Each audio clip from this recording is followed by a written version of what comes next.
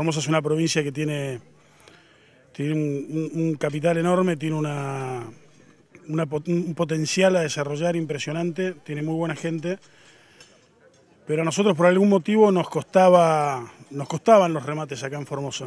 Eh, este año por primera vez desde que yo recuerdo el, remate de acá de Ombú, hacemos más promedio con los toros y con los vientres que en el remate de Itacabó, que es un remate recontra emblemático de lo que es la marca Bote. Eh, así que honestamente muy, muy contentos, eh, había, había una cantidad de gente importante, gente que, que no por casualidad eh, año tras año nos, acompaña, sin duda que, la trayectoria de la marca es algo muy importante y la seriedad que le da, que le da la empresa atrás, mucho más fuerte todavía. Honestamente, yo estaba más tranquilo antes de arrancar el remate con el vientre que con los toros.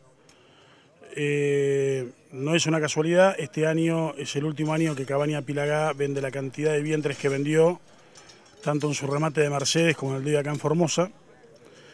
Eh, a partir del año que viene la compañía eh, por una decisión de la empresa, va, a guardar más vientres, lo que, lo que le hicimos saber a la gente, cosa que le hicimos saber a la gente, y realmente a nosotros, eh, los que de alguna manera estamos involucrados en esto, nos alegra enormemente porque la señal que da Quick empezando a retener los vientres eh, quiere, da, una clara señal eh, de a dónde quiere apuntar con la cabaña. Entonces, para nosotros los que estamos involucrados directa o indirectamente de alguna manera, más, más el país ganadero, creo que es una señal de un grupo importante, una señal muy importante la que está dando.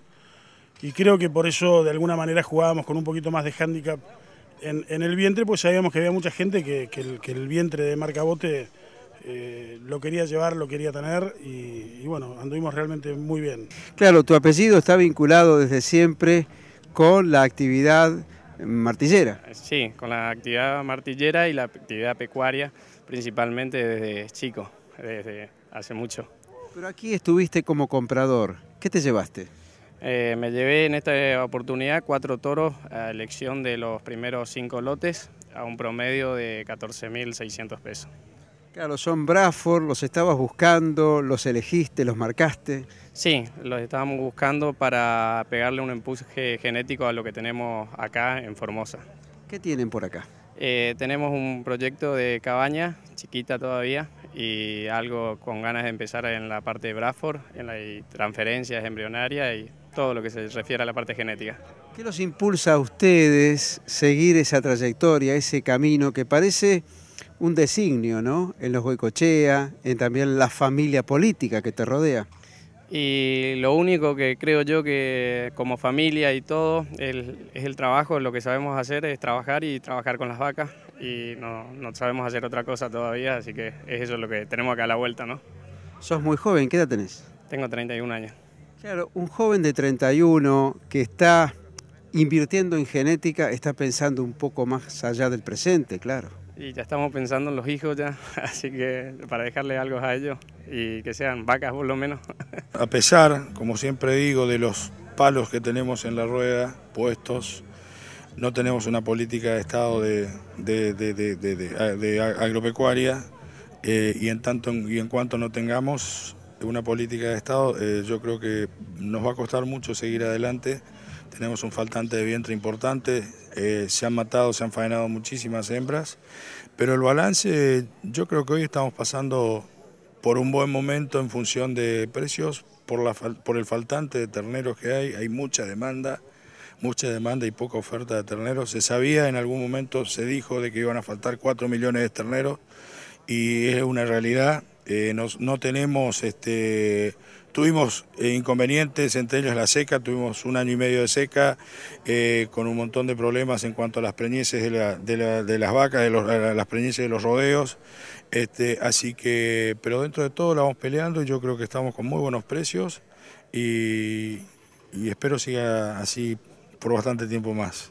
No vamos a vender vientres, esa es la idea, vender la menor cantidad posible a partir del año que viene este, y tratar de retenerlos para desarrollar una fuerte una fuerte acción sobre la genética a partir de la transmisión este, por toros padres de las mejores este, aptitudes, este, tanto productivas como, como industriales comerciales.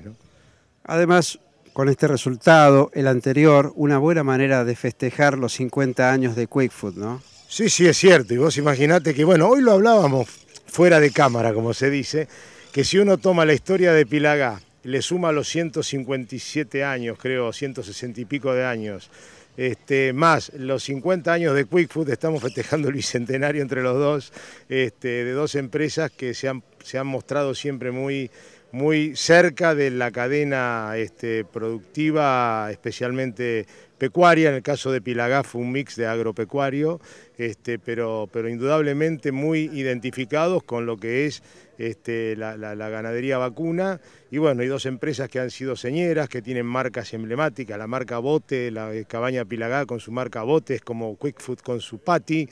Este, son a veces este, el, nombre de tu producto es el genérico de la marca. Dos remates que establecen pautas distintivas en materia de precios.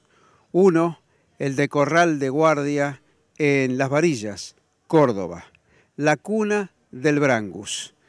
Y luego, en Formosa, Pilagá, un nombre, una trayectoria ligada desde siempre al norte argentino, ahora junto a Quickfood Marfrick. Dos exponentes de la ganadería y la evidencia de que se está trabajando muy bien desde la genética hasta la carne. Hasta la próxima.